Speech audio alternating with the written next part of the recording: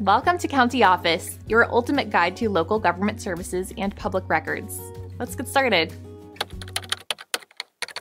How late can you be on a mortgage payment?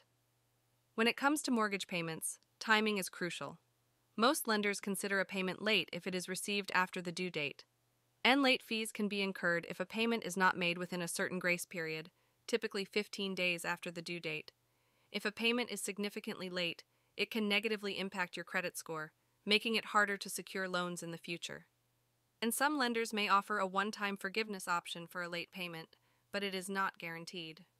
And to avoid late payments, set up automatic payments or calendar reminders to ensure timely payments. And communicating with your lender about any financial difficulties can sometimes lead to alternative payment arrangements.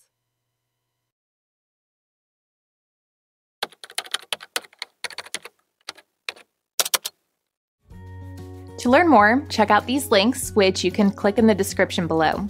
And feel free to comment your questions. We're here to help. Thanks for tuning into our video. Please like and subscribe and leave a comment below. See you in the next video.